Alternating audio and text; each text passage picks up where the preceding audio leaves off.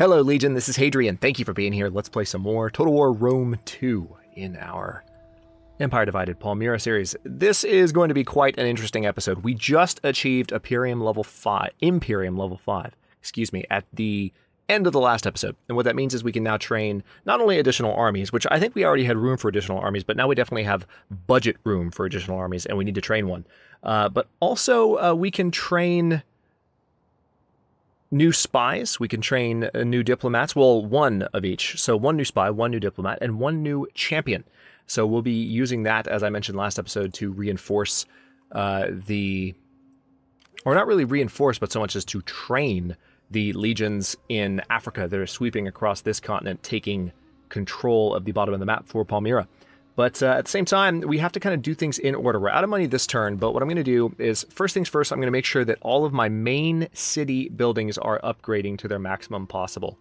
Um, you know, just size. Because having those benefits, for instance, this is right now just a polis, but if I upgrade Aelia Capitolina to a level 3 city, that increases our wealth from subsistence by 100. We do get some additional squalor, but we get lots more growth per turn for the province, as well as double public order per turn. Now, there is additional food penalty that comes from this as well, but it's uh, there's just plenty of reasons that we want to have these things in place as soon as possible. So we're going to be focusing on that. I'm going to go ahead and end the turn now as we uh, as we begin. Still keeping an eye on Aurelian's Rome. He's really struggling against Tetricus. Surprisingly so, I have to say. All right, so Hispania Citerior wants a non-aggression pact. That's hilarious. So they know that we're a threat. And they are very concerned. Oh, we have a plague in Rhodes. So we are working on research right now that will help us with our squalor, with our sanitation issues. But uh, so far it seems like uh, Rhodes has not escaped their sanitation problems. So rat catchers have raised sanitation in Samosata for four turns. They've employed the tools of their trade to deal with the situation. Their methods are fast and effective, which is to be expected given the exorbitant amount of money they've requested. Yeah, we did pay them a lot of money. So uh, let's go ahead and say accept. Uh, we have what looks like Bithynia at Pontus, which is one of our new territories. Nicomedia. See, we need to go ahead and uh, upgrade that city. So public order is on the rise here, which is good news. And then Africa is also a motivated province.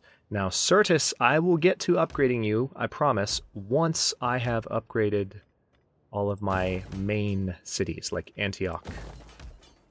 Yeah, see, Aelia Capitolina still needs to be upgraded, in fact, and so does Ankara. So we're going to be spending this, we're going to be doing this a couple of times per turn. As a matter of fact, tell you what, well, hmm. Hang on, I did I did train my additional diplomat, so let's go ahead and get him doing administration, kick up taxes in Aelia Capitolina, and also start him gaining experience. Also, how much will it cost me to train another champion? Okay, we'll wait until all of these upgrades are underway. So let's go ahead and end the turn again. You know, I could have moved my armies that turn, actually. My fault just goes to show I'm determined to get the economy spinning up as rapidly as possible to support the new armies we're going to need to build. We got peace negotiated between Sakistan and the Mayin. And between, oh wow. All right, so they were at war with everyone. Wow. Oh, okie dokie. Ooh, Mithraic feasts. Good. Recently, there's been an unexpected increase in commerce in this province. The exact reasons are unclear, but some attribute this situation to the presence of Mithraists, who regularly order large amounts of food for their secret feasts. We are courting Mithraists, in fact. We have a number of Mithraist cities already. Let's see, Pergamum. Yep, need to upgrade that. Just going to keep those going. And I suppose one thing I can do, like I said, I can go ahead and move my armies a little closer. They don't even know that this army is in their territory. So I can do terrible, terrible things to Hispania Citerior anytime I want, really. Matter of fact, I could attack Garama right now if I wanted to, but I'm going to keep them hidden.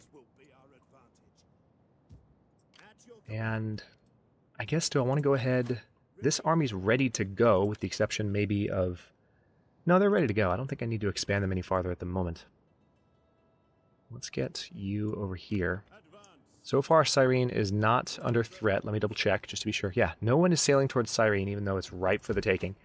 Uh, as soon as we have the opportunity, we're probably going to train a new army in uh, Egyptos. I might also start them in Antioch because of the field engineers workshop. We need to have an army with actual siege equipment. We've had access to the freaking field engineers workshop for a while, and I could bring some of my armies back once we're done fighting wars up here and give them siege equipment. War declared between who? Oh, the assassins. Okay, this was not a peace declaration. This was a war declaration. Interestingly enough. Faction destroyed. Numidia. All right, Numidia no longer exists, probably because these guys have wiped them out. Yeah, Hispania Citerior is doing quite well. They are kicking Rome out of Africa. So we're going to have to return Rome to Africa. Yes, I know. Inspired populace. Very nice. Hidden agent exposed. Is that so?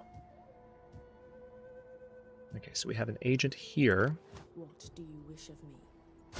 Is there anything I can do, though? Actually, there is. I can solicit trader. Very low chance of success. I can manipulate him. Also low chance of success. Tell you what, let's just go ahead and have her guarding. I'm not liking the fact that there's an Armenian agent hanging out there. Upgrade that unit, please. Also, hang on. There's one thing we can do. We might not have the money to do this, but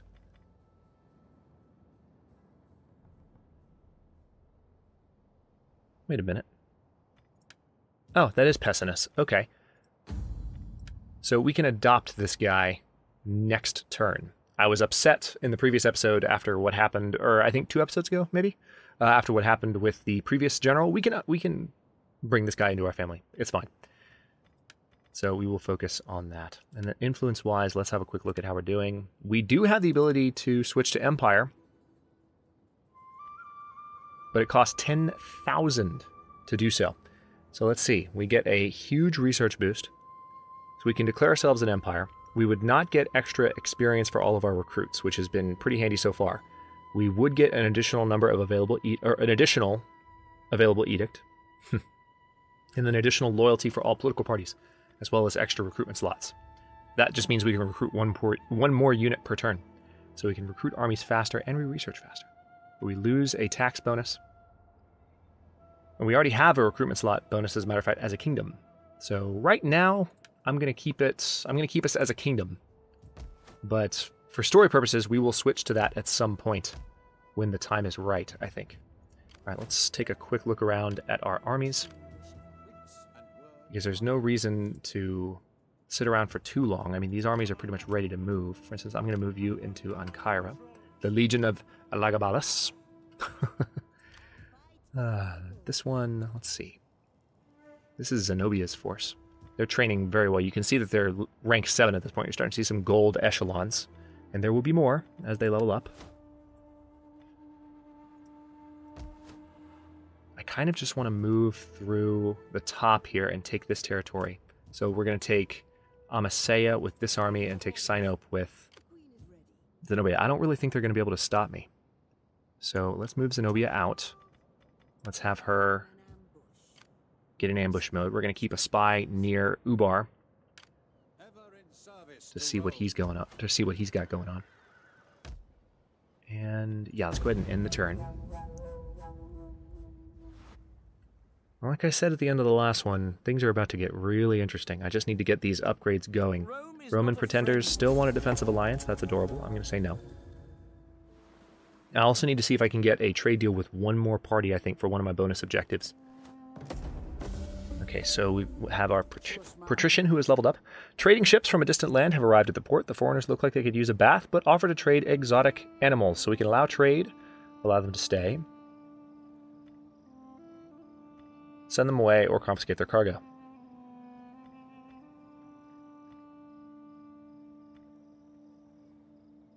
Hmm. Let's allow trade. Let's let's let that happen. I think we've already done this once, but I want to do it again. yeah, let's go ahead and give him zeal. And then you need to have dignitary so that I can move towards being able to increase taxes even higher. Population surplus in Libya. Very nice. So first of all, let's get that upgrade going, and we can go ahead and expand Cyrene here. Now, could I go ahead? I think it would be wise to go ahead and put a workshop here. I think that's what I was going to do, in fact. Yeah, let's do that. Okay, and now let's go back around our cities, because again, I need to make sure...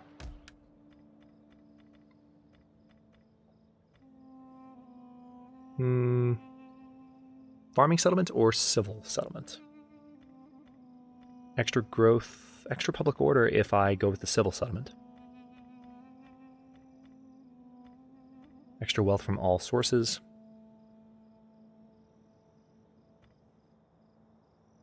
No, let's go with the farming settlement. And we're going to continue focusing on these guys here. Extra wealth from all commerce. Ooh, if I go ahead and upgrade that, the silk market will help us get a little bit better across the board. And this is a better research rate. So let's do that too. Again, we this is this is going to take a couple of turns. We have a lot of economic moves to make, but we can also make some military moves at the same time. Let's see. Right, so you come here and hide. And I do still have to hire my new agents, but my cities are top priority at the moment. Wait, did I already move you this turn? No, I didn't. You're good. The movement bars are weird sometimes in this campaign. I don't. I've never seen them them do this before. Yes, I know I'm trespassing in Armenia's territory. That's because we're about to declare war on Armenia. Very much unexpectedly to them. Actually, speaking of that, let's get our spy up ahead of the army a little bit to have a little bit of a closer view of Sinope. Okay, there's an Armenian army in Sinope. We might want to wait until they are clear. That could be interesting. All right, so this navy is still still healing up. I kind of want to bring this navy over to Nicomedia. So let's do that. Public order is fine there. So they're going to be stationed there. Meanwhile, we can go ahead and hit Leptis Magna. And we can hit Garama. In one fell swoop. Yeah, see, what's going on with the movement points here? Let's get a little closer so I can see the city. Yeah, Garama is ripe for the taking. Let's go ahead and declare on these guys. They're allied with Gallic Rome. I didn't see that coming. Well, I mean, we're going to be at war with Gallic Rome eventually. We need to keep taking territory here where we can. Do we wait until we finish doing some fighting up here? Do we play it careful? Or do we maraud across and take a lot of this territory and grow stronger and maybe that will take Gallic Rome's focus off of Aurelian for a bit. Hmm, and Aurelian will be able to harass him some more. Yeah, you know what? We're going to do this. So they're joined by Gallic Rome. We are now at war with Gallic Rome. And uh, I'm going to... I could go ahead and siege the city right now, honestly. They don't have a very strong garrison here. I will go ahead and... As I kick my trash can, I'll go ahead and get some light siege towers going. Let's continue that siege. And then you guys, Leptis Magna should fall pretty easily. So, tell you what, this is a pretty major city. I kind of want to fight this battle on the map, but we're going to do Garama on the map instead. So, Leptis Magna is the site of some of the most majestic Roman ruins in Africa that still stand. Okay, so now we control two provinces in Africa, including a, um, a grain field city. Oh, not provinces, but two cities in, in uh, Africa. Two regions in the province of Africa is the technical term. So we are now definitely at war with our good friends, the Gallic Romans, quote unquote. Does that make us the Palmyran Romans? I don't know. We're just going to call ourselves Palmyra. Looks like... No, Ptolemaeus and Meroe are still separate factions. For a second it looked like this was one color down here, but my eyes were tricking me. Oh, that's two. That's why. I thought that was one territory. It's this one and that one. So there's Meroe, and there's Ptolemaeus Theron on the map. Okay, this is going to be an interesting turn transition, I think. I'm kind of hoping this army leaves Sinope. Alright, we're now at war with the other two Roman factions. What will Gallic Rome do? I rolled the dice a little bit. Remains, we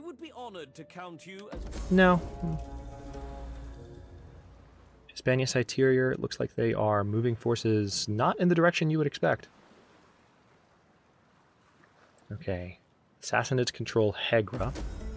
Ships at the ports. Okay, of course. We are getting a 100% wealth bonus from all commerce, but there's additional squalor from the exotic animals. The animals turned out to be highly sought after possessions that have boosted commerce. Unfortunately, they've also turned out to be infected with disease, which has spread throughout the province. The health of the local populace has drastically deteriorated as a result. That's a shame. Okay, so Pergamum. Yeah, we need to keep upgrading our settlements here. Alexandria. Yeah. God. So much. All right. How much does it cost to dismantle this? Yeah, let's go ahead and get rid of that. Or not? 1,000. It's not what it says. It says 800 to dismantle. So the game is lying to me. I don't like being lied to, game.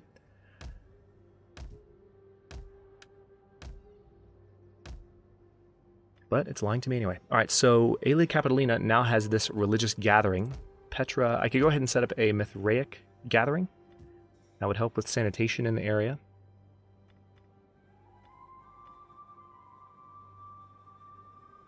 Let's go ahead and do that. Doesn't cost any money. Now, I believe we have a spy in this area. Hang on. Alright, they haven't withdrawn their army from here. This is Zenobia's army. I mean, she could probably wipe the floor with these guys, but let's get a little closer and see what they are. Yeah. probably would wipe the floor with them. I would guess. Much lower level general, much lower stats. Also, you're just not Zenobia. Let's just let's hang back for now. Okay, good. This unit needs to get out of rapid march mode and just hang out at Nicomedia, please. Continue to heal up. Alright, Leptis Magna is ready. Are we ready to siege Garama? I think we are. Yes, we are. We have siege engines. So let's go ahead and run this battle. Shouldn't take long. But this is one of the larger cities we've we've attacked. Oh, it actually looks like the same city map as um what was the city we just fought for? Was it Nicomedia? No. Which city was it? That's a shame. It's the same city map. I wasn't expecting that. It looked like it would be different.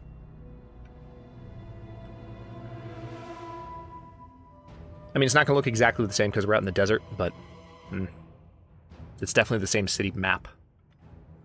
Yeah, it actually, this doesn't look like desert to me. What in the hell? Okay, well, I'll try and make this quick. Let's see.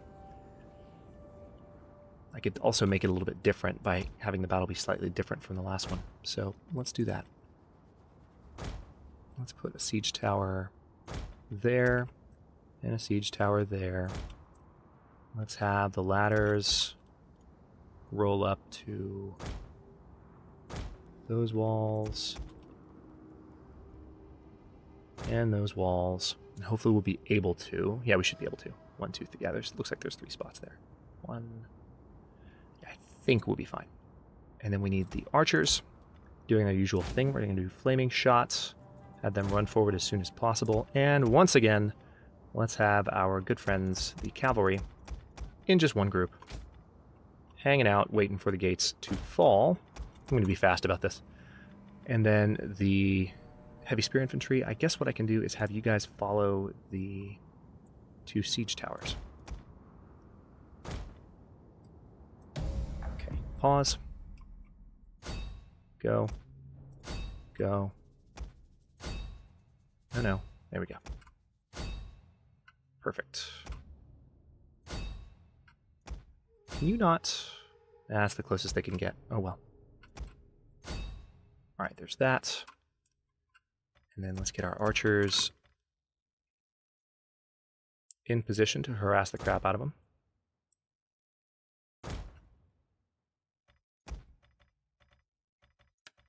And go. So of course they have their men lining these walls. This is our first field battle against Hispania Citerior. I would imagine it's not going to go too different than expected. We have it on speed 3, of course. Archers are getting in position.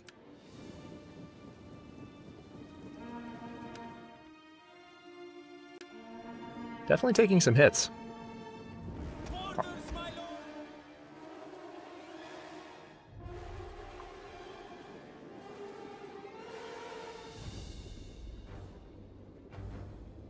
So their slingers are doing a good job of tearing my archers up. Let's go ahead and withdraw these guys. Archers are panicking a little bit, but that's fine. I managed to get some cover fire in place, and now my units are almost at the walls.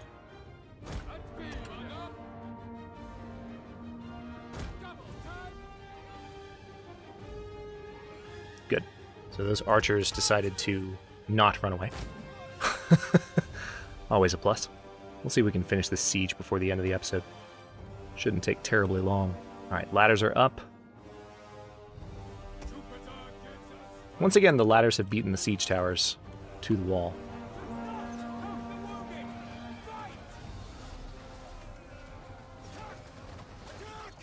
Alright, here comes the siege. Very good. Oh yeah, this is going to go nice and smoothly. We pretty much have our units. We have a unit confronting each of theirs.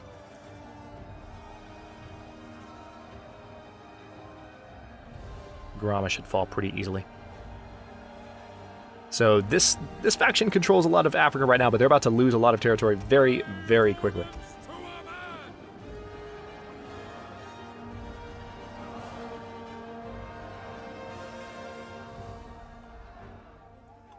Okay, their archers are starting, or not archers, but skirmishers are starting to get a little bit uh, nervous. Rightfully so. Vigiles are already losing decisively. infantry ready. Egyptian infantry. We are taking control of the gates.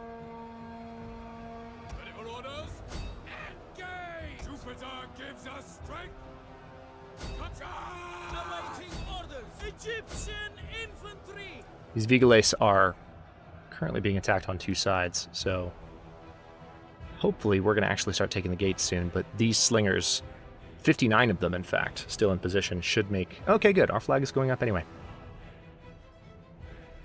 Oh, nope, just kidding. It's going to fake me out. Let's get the speed up a little bit.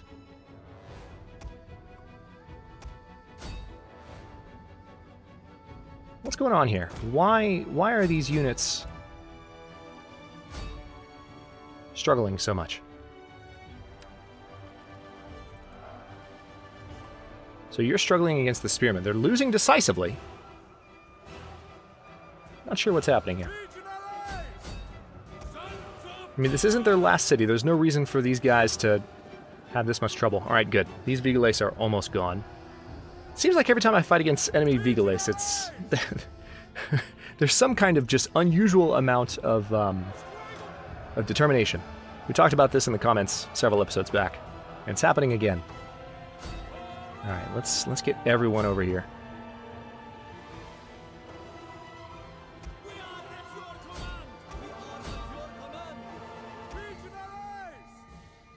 All right, so the walls are ours.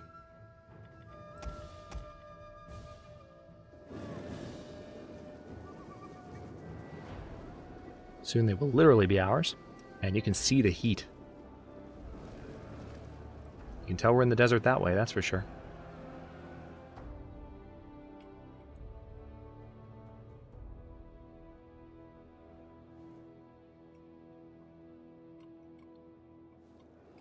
Okay, so we control the gates. I saw that.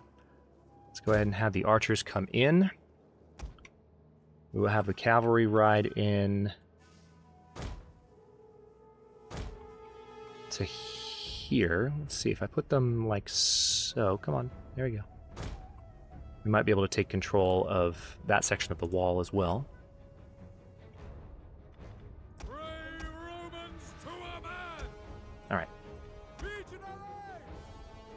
Let's see.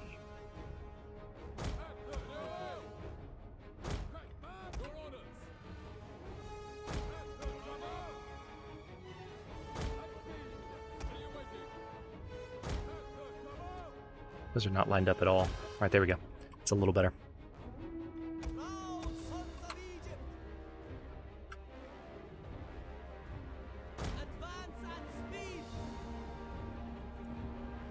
Gonna try and get all the infantry off the wall. Oh, hello. Well, that was unexpected. General was not hanging out in the middle of the city as planned. And also, these cavalry, I was not expecting them to ride around this direction. They were all supposed to go that way. But it's okay. Some of them are now coming around the opposite direction, and they're going to finish these guys off pretty quickly. Like this.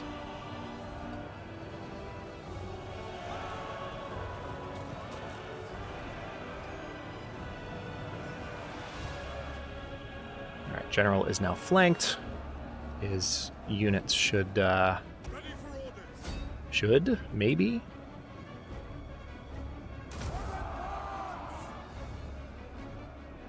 What's trample? Nice. All right, let's end the battle. That was pretty straightforward. Garama is ours. I was really hoping for a different city map, and that, ladies and gentlemen, is why I auto-resolve a fair number of battles when they're not particularly significant battles. I always get my hopes up that we'll have unique city maps, but like what happened with Alexandria, a lot of times they end up being kind of carbon copy battles, so if it seems like some episodes I'm just flying across the map, and that's why. The vanquishers of the East, the brave men of this army, have known many victories, only their courage facing the enemy exceeds their skill at arms. And Timagenes, this general, leveled up as well. I can't adopt that general just yet, but I think there's a couple of uh, generals that I need to adopt. This is the leader of a faction, I believe, so I can't do anything special with him. Let's go ahead and give him uh, engineering expert so that he can have better siege equipment, obviously. And then, yeah, let's make him an efficient recruiter. All right, Garama now belongs to us. We can go ahead and convert that to a city in one fell swoop. I wasn't expecting that. That's quite nice. And we can move on Cidamus in the next turn while this army also prepares... Oh, this army can actually move now. I can keep going. See, the, the only problem with just marching across the top here with only one army is that all of these cities uh, are vulnerable to me at the moment. So it looks like they actually have Carthage under siege. So while Carthage is under siege, we can just be marching up, taking a ton of their territory. I tell you what, I'm not even going to put them in... Let's move quickly. I'm not going to put them in rapid march because that'll open them up to an ambush, but other than that, I'm going to have them move as rapidly as they can across the top of that uh, continent. And I do still need to build another city. I know, believe me, I or not not another city, another uh, army. But until we have all of our main chain, you know, like cities upgrading and and doing really quite well in that regard, um, I'm not going to wait until they're all level three or something, but I want to have them all started uh, before I spend money on anything else because that's going to help the economy continue to grow going forward. Also, we are just two turns away from finishing that sanitation research, which will be a huge boost to us and also give us a well, no, we have to do one more research before we get that 10% uh, tax rate boost, but that'll be a nice jump as well. On that note, I will go ahead and stop this episode here. We control a good amount of uh, Northern Africa. We control almost all of Africa, almost all of Thesania. And then uh, Numidia and Mauritania are next. Uh, just the question is, we, we need to have some more armies in play as soon as possible. Going back to what I was just saying about the economy, in order to make sure we can hold all this territory, because we're starting to get stretched out a little bit thin. Stay tuned. If you enjoyed this one, don't forget to like the video and subscribe to follow along. Oh, also, that reminds me, this is episode 18. This is the first time I'm saying this in a Total War series on this channel. That's how long it's been since I've played Total War. But in case you're new to the channel, and in case you don't know how things work here, Sometimes, when you're playing a, uh, a, campaign, excuse me, like Total War, and you're playing a campaign like The Long Dark, what'll happen is you have um, a series that just goes on and on and on and on and on and on in both time slots. And I realized a long time ago that one of the things that can get really um, tired and really kind of stale is when just two series, no matter how good they are, no matter how, how many people like them, are just running both time slots for a month or two or three because they're both long term games like Total War and The Long Dark or others that I've played. So, what I do is every 20 episodes of a series, I do a content switch in a time slot and I switch to either a new series or I switch to a series that was already going in that time slot. In this case, if you're watching this live, if you're watching this in the backlog, watch the next episode. It's probably out for you already.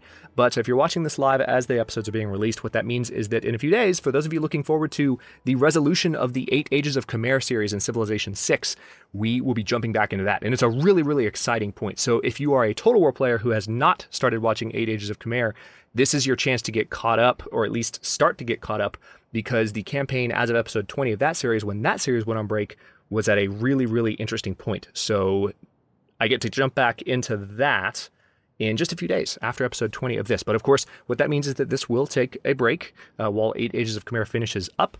If Eight Ages of Khmer doesn't take another 20 episodes, which it probably won't, uh, we will either bring this series back a little sooner or we will do another new Civilization series uh, for some time. I, I, kind of play that by ear depending on what people are most interested in and what I'm really feeling like, honestly. But that's the basics of it. I haven't explained that so thoroughly in a while, but I think I've got some new viewers on account of this being my first Total War series in a while, so I want to make sure everyone's on the same page. If you have any questions, feel free to ask in the comments below. Like I said, comments are always welcome. New episodes coming out every day at noon. Let me know what you think, and I'll see you next time.